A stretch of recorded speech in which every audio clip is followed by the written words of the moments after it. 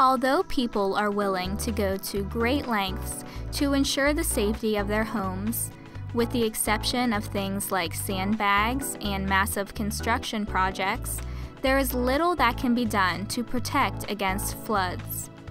This is why the floodgate system for doorways was invented. A system and method to protect buildings and other structures from floodwaters. Protects family heirlooms like photographs, antiques, and other irreplaceable items that would be lost forever.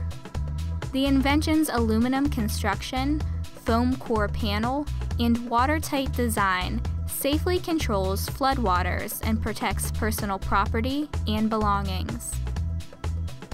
Strong and durable. Reduces insurance cost. Easily removable and reusable. Because when disaster strikes, every second counts in preventing the loss of life or property.